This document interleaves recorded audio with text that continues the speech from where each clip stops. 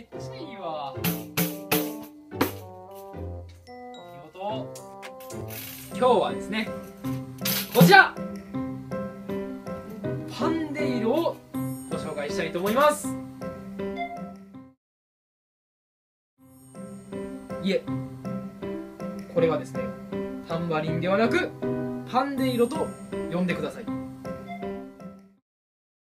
タンバリンによく似た楽器なんですけどまず値段がですねタンバリンのうん倍してめっちゃいい音がするんですよ。タンバリンとの違いはですねジングルと呼ばれるこの金属の部分がこう閉じてるんですね。タンバリンはこれが開いてるので結構大きい音が出るんですけどパンディールは閉じてるのでそんなに響きません。そんなに響かないということはですね細かいニュアンスがよく伝わるということでリズムがすごい出しやすい楽器になっています。さすがファンデル皮の部分もですねタンバリンと違ってチューニングができてですね張り具合を変えることができます。どうもタンバリンが薄くて叩く場所によっていろんな音が出ます。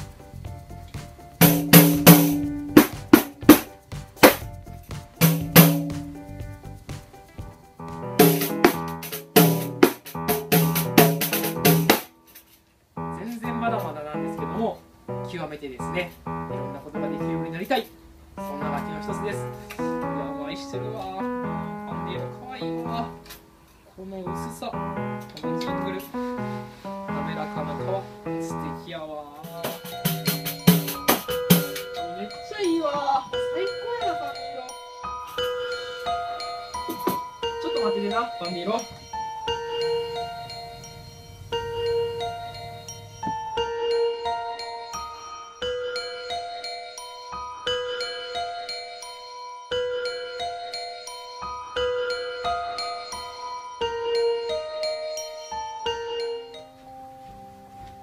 ただいまあれ？パンデイロだよ。いやいやいやいや。あなたタンバリンやん。僕のパンデイロは？いえ、私がパンデイロです。違う。この外向きのジングル。タンバリンやん。いやいやいや、だってさっきからパンデイロばっかり叩いてたでしょ。パンデイロ返して。私が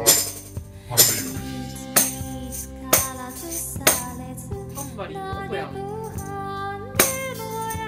やっぱり。ンバリもいいよ